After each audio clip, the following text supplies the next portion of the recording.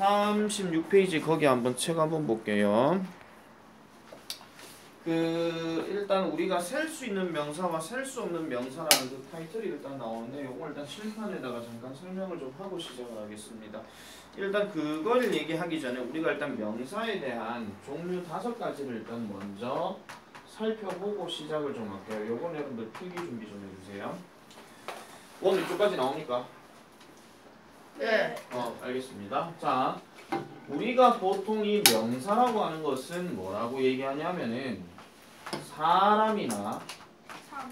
아니면은 사물 아니면은 뭐 사람 사물도 되지만 우리가 눈에 보이는 거 보이지 않는 것 그러니까 눈에 보이는 거 아니면 눈에 보이지 않는 거 이런 것들을 전부 다 어떤 이름을 지어줄 때 쓰는 말이 명사라고 얘기하는 겁니다. 명사라고 하는 것은 이름 명자라는 걸 써가지고 역할 뭐 사자 이런 식으로 얘기하는 건데 그러면 우리가 이 우리가 일상생활에서 보이는 어떤 물건이나 사람의 명칭이 다 있겠죠. 그런 것들을 우리가 문법적 용어로 얘기할 때 명사라고 하는 거예요. 여러분들 내하고 수업할 때 이미 지금 팔품사에 대해서 지금 제대로 얘기를 안 했기 때문에 일단 명사는 반드시 먼저 기억을 해줘야 됩니다. 그 다음에 하나 더. 이 명사라고 하는 것은 문장에서 문장 성 문장 구성에서 어떤 역할을 하냐면은 문장에서 주어나 아니면 문장에서 목적어나 아니면은 문장에서 보어 역할을 합니다. 자, 주어라고 하는 것은 당연히 문장 제일 앞에 있는 주어가 되는 거니까 해석할 때 은, 는, 이, 가 이렇게 해석이 되는 거고 목적어라고 하는 것은 그 목적 대상이기 때문에 우리나라 말로 얘기하면 을, 는이 되는 거예요. 그 다음에 보어라고 하는 것은 뭐냐면은 우리가 어떤 주어를 설명하거나 아니면은 나중에 우리가 배우겠지만은 목적어를 설명해주는 이런 역할을 하는 것입니다. 예를 들어서 뭐 김우진은 학생이다라고 얘기할 때 그러면 김우진이라는 사람을 설명해 줄 때는 야의 신분이 학생이라는 걸 얘기하는 거죠. 네. 그럼 내가 김우진은 캐스니까 김우진은 뭐가 되는 거예요? 주어 목적어 보호 중에 주어. 주어가 되는 거죠. 그럼 학생이라 하는 그 학생이란 말은 주어 목적어 보호 중에 누가 돼요? 보호가 되는 겁니다. 알겠습니까? 네. 자 일단 이렇게 가볍게 얘기를 하고 그러면은 우리 문장 구성을 딱 아니, 문장 구성이란다 명사를 다섯 개로 이렇게 분류를 하게 되면은 총 다섯 개로 이렇게 합니다. 자 보통 명사라는 게 있어요. 우리가 동사 중에서 가장 흔한 동사가 무슨 동사였죠? 일반. 일반 동사죠. 그래서 이게 뭐 보통이란 말을 써놔서 그렇지 그냥 일반 명사켜도 상관은 없습니다. 그러면은 여기에는 특정한 기준이 있다 없다? 없다. 없다. 그냥 되게 흔한 거를 얘기하는 거예요. 자, 일단 얘는 내가 일단 명칭을 설명을 따로 안 쓰고 그 다음에 집합명사. 집합명사라고 하는 것은 하나의 덩어리를 표현할 때 쓰는 말입니다. 덩어리라고 하는 것은 뭐냐면은 정확하게 말하면 단체 또는 무리 아니면 뭐 집단 이런 것들을 설명해 주는 것이 집합명사인데 가장 대표적인 게 뭐냐면 그룹이란 말이 여기 들어가고요. 그 다음에 우리가 경찰 칸닥 해가지고 경찰 사람 한 명을 얘기하진 않죠. 그래서 뭐 경찰 칼 때는 경찰 무리가 될 수도 있고 경찰관 한 명이 될 수도 있고 알겠죠? 그런 식으로 얘기하는 거예요. 그 다음에 세 번째가 뭐냐면은 고유명사. 고유명사는 여러분들 뭐냐면은 특정한 이름이나 아니 특정한 이름을 갖고 있는 걸 얘기하는 거예요. 예를 들면 여러분들의 지금 이름들이 다 제각각이죠. 맞죠? 여러분들의 이름 제각각이 전부 다 뭐냐면 고유명사인 거예요. 알겠습니까? 그런데 우리가 이런 경우도 있죠. 그 예를 들어 가지고 정진우라고 딱 했을 때 저런 외모에 저런 성격에 저런 아 저런 학교는 안 내지 비꼬 비꼬는 아니에요 오해하지 마세요. 그러니까 저런 외모에 저런 성격에 저런 뭐 행동을 가진 정진우는 얘 한 명밖에 없단 말이야. 맞죠? 이 우리나라 세상에 정진우가 얘 한 명뿐일까요? 그건 아니에요. 다만 저렇게 행동하고 저런 인물에 저런 다시 말하면 디스 아니야. 자, 저런 행동을 가진 정진우는 제 한 명밖에 없단 말이야. 그게 고유한 특징을 지니고 있다 할 때 그때만 완전. 고유 명사라고 얘기하는 겁니다. 기분 나빠하지 마세요. 네, 네. 알겠죠? 특별한 자, 말이 그래서 어, 어. 고유의 특성을 지닌 특성을 지닌 사람이나 사물을 다 얘기하는 겁니다. 우리 뭐 보통 우리 다 어디 살아요 지금 우리나라 대구. 대구. 대구에서 살죠. 대구도 그래서 고유명사고 그 다음에 서울도 고유명사고 그 다음에 저기 뭐야 뭐 부산도 고유명사죠. 우리나라에 대구라는 지명이 딱 한 군데밖에 없잖아. 네. 그죠? 물론 뭐 광주라는 지역은 우리나라에 두 군데가 있긴 있어요. 경기도 광주하고 전라도 광주가 있긴 한데 그런 거 다 빼고 대부분은 전부 다 지역을 얘기하든 아니면 어떤 뭐 건물의 특정한 이름을 얘기하든 사람의 이름을 얘기하든 전부 다 이런 것들은 고유한 특징을 갖고 있기 때문에 고유명사라고 얘기합니다. 그 다음에 추상명사. 자, 추상명사라고 하는 것은 뭐냐면은 눈에 보이지 않는 것을 설명할 때 눈에 보이지 않는 것. 예를 들면 사람이 눈에 보입니까? 아니요. 꽃피는 사람 사람 사람이라는 줄 알아. 사람이 아니고 사람. 안 보이죠. 그 다음에 희망이란 게 눈에 보입니까? 아니요 아니요. 아니죠. 희망은 희망이나 사랑이라고 하는 것은 전부 다 누구의 머릿속에 있냐면 사람 각각의 머릿속에 있는 거예요.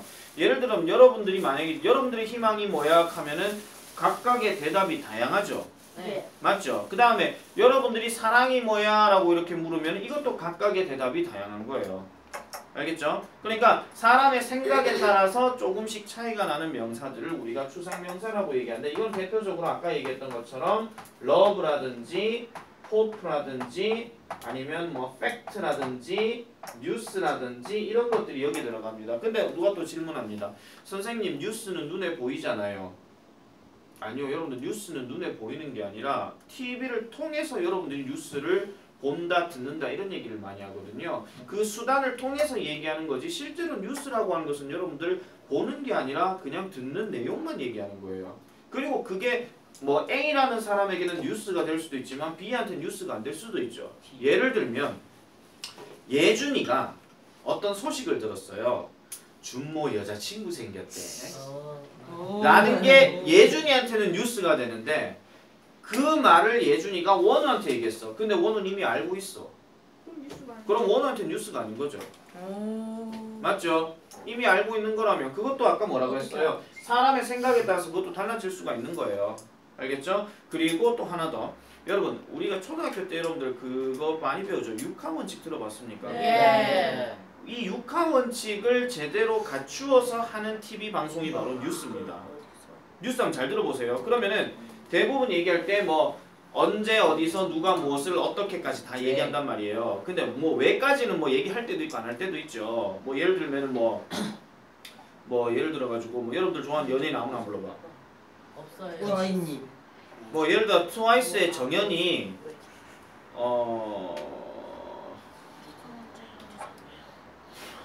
B2B의 육성재랑 사귄다 칩시다. 유빈 오. 싫어요. 어, 예를 들어서 예를 들어서 그러면 그게 연예 뉴스에 나오겠죠. 그러면은 뭐 거기에서 뭐 B2B의 누구와 뭐 그 육성재와 그 다음에 트와이스의 정연이 사깁니다. 이게 지금 주어 동사 다 나왔단 말이야. 누가 뭐 뭐뭐을 일을 다 나왔단 말이에요. 한다까지 다 나왔어요. 그 다음에 거기다 왜라는 말을 집어넣게 되면 뭐야? 둘은 뭐 아이돌 그룹에서 예능 프로그램 하다가 눈이 맞아서 그렇게 됐습니다. 뭐 이렇게 할 수도 있단 말이야. 알겠죠? 그래서 이런 것들은 추상명사 얘기하는 거고 그 다음 마지막으로 들어가는 게 뭐냐면은 물질명사라고 얘기하는데 물질명사라고 하는 것은 막연하게 얘기하는 고체, 액체, 기체 이런 것들을 얘기하는 겁니다. 고체, 액체, 기체. 그런데 우리가 여기서 말하는 고체라고 하는 것은 그냥 막연하게 규격화되어 있는 것 말고 그냥 덩어리 얘기하는 거예요. 가장 대표적인 거는 고기. 맛있다 맛있다. 여러분들 어, 고기는 맛있다 그죠? 근데 고기 고기를 여러분들이 고깃집에서나 이렇게 보게 되면은 고기가 이렇게 그냥 뭐, 뭐 네모나게 잘라 갖고 나오는데 그거는 잘라서 규격화 된 거고요. 실제로 고기는 그냥 덩어리째로 이렇게 나와요. 잘려서 나온 게 아니라 그냥 큰 덩어리죠. 그 다음에 또 액체 중에서 우리 물 한번 생각해 봅시다. 물은 우리가 슈퍼가 물을 한 병 두 병 살 수는 있지만 실제로 물이 그렇게 가지고 나옵니까? 뭐 아니요. 다른 데서 아니죠. 그냥 전체 물에서 그 물을 담아서 이렇게 나온 거란 말이에요. 알겠죠? 그 다음에 기체 같은 경우에 일단 우리가 숨 쉬고 있는 공기를 한번 쳐볼게요. 공기가 뭐 공기 한 통 팔아요 이러지는 않는단 말이야. 물론 나중에 그렇죠. 물론 산소통이나 이런 것들은 가끔 필요하기는 하죠. 근데 그건 특별한 경우고 알겠어요? 그거는 특별한 경우고 기체는 우리 눈에 보이지도 않을 뿐더러 우리가 숨을 쉬고 있는데 음 나 오늘 공기 뭐 산소 3리터 쉬었어 이러진 않는단 말이야.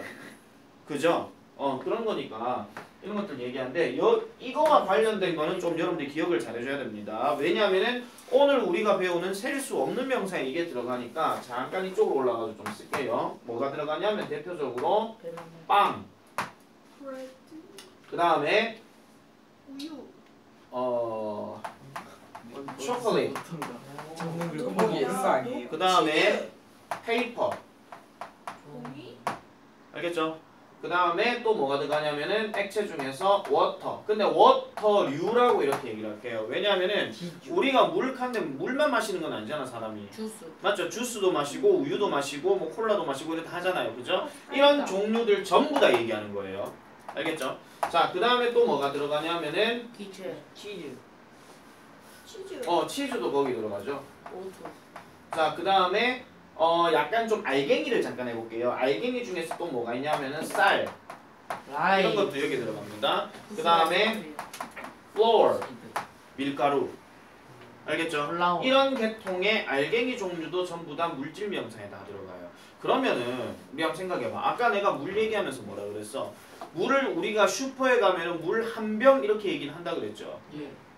물을 만약에 셀 수 있을 있게 만들려면은 그러한 도구들이 필요하다는 거야. 어. 알겠습니까? 무슨 말인지 알겠어요? 자, 여, 이 단어들 중에서 왜 이게 지금 물질 명사 셀 수 없는 거에 들어가는지 이해 안 되는 거 없어요? 종이 종이. 자, 종이는요. 자, 일단 종이는 뭘로 만들어집니까? 나무요. 나무 나무의 뭘로? 껍질. 껍질 나무의 껍질에서 나온 수액을 가지고 그죠? 수액, 수액 정확하게 말하면 수액인데 자, 액체를 다 이렇게 해가지고 거기서 말려갖고 나온 그게 종입니다. 그렇죠. 알겠죠? 잘 보세요. 초콜릿도 마찬가지고 페이퍼도 마찬가지인데 얘들의 원래 근본적인 건 액체에서 만들어져서 말려서 어, 아니면 얼려서 나온 거예요. 그렇게 해서 다 규격대로 잘라낸 거란 말이야. 아까 내가 뭐라 그랬어요? 셀 수 없는 거를 셀 수 있는 것으로 만들려면 거기에 대한 도구가 필요하다 그랬죠. 그 도구를 규격해서 나오면은 이제 그걸 다른 어떤 표현을 이용해 가지고 셀 수 있는 명사라고 표현을 해주는 겁니다. 자, 지금 쌤이 지금 이까지 얘기한 거는 명사의 기본적인 패턴, 아니 명사의 기본적인 어떤 영역만 지금 얘기한 거예요. 그래서 지금 책이 없는 거예요. 알겠죠? 이 얘기를 내가 왜 이렇게 길게 하냐면은 그냥 명사해가지고 여러분들이 무턱대고 얘기를 해버리게 되면 이게 명사인지 뭔지 분간을 못 하거든요. 어, 그래서 이름이라는 게 딱 정해져 있고 그 이름 중에서 이렇게 이렇게 나뉘어져 있는 게 있다라는 거. 일단 특징이 일단 알겠죠. 보통 명사 내가 지금 아무 얘기도 안 했잖아. 그지? 근데 나머지 네 개는 전부 다 뭐가 있어? 다 특징들이 다 있죠. 네. 그럼 이 특징을 제외한 모든 명사는 다 보통 명사라는 거야. 됐습니까? 어, 그런 식으로 일단 정리를 하시면은 되겠더라 이런 얘기예요. 당연히 내가 진지하게 설명하니까 잠이 올 수밖에 없지. 그지? 그래서 내가 집중하라는 거잖아. 어. 자, 그래서 요렇게 얘기를 하고 자, 5분 정 5분이란다. 화장실만 지금 빨리 갔다 오고 그 다음에 문제풀이 바로 들어갑니다.